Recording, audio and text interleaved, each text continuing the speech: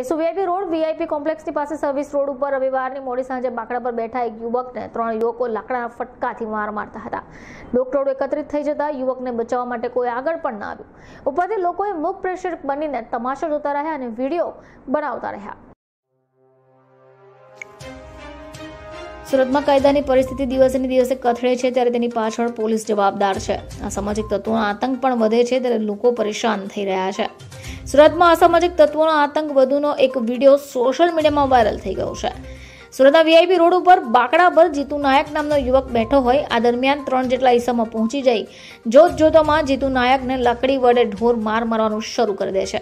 રસ્તા પરથી પસાર થતા અનેક લોકો આ તમાશો પણ જોઈ છે. લોકો મૂક પ્રેક્ષક બનીને ઊભા રહી જાય છે. કોઈ પણ જીતુ નાયકને બચાવવા માટે વચ્ચે નથી પડતું.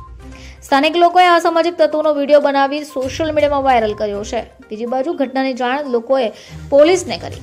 ત્રણ ઇસમો લાકડીના ફટકા માર્યા બાદ પીડિત જીતુ ત્યાંથી પોતાનો જીવ બચાવી ભાગી છૂટ્યો. સમગ્ર ડ્રામા ચાલતો હોય ત્યારે એક જાગૃત નાગરિકે પોલીસને જાણ કરતા પોલીસનો કાફલો ઘટનાસ્થળ પર પહોંચ્યો હતો.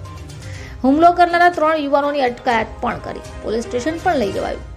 આ તપાસમાં યુવક સાથે જૂના ઝઘડાની અદાવત લઈને ત્રણ ઇસમોએ તેને માર માર્યાનું નામ ખુલ્યું છે. મામલામાં પોલીસે જય અને મિલન નામના બે વ્યક્તિની ધરપકડ પણ કરી છે. Bureau report eye witness, Surat.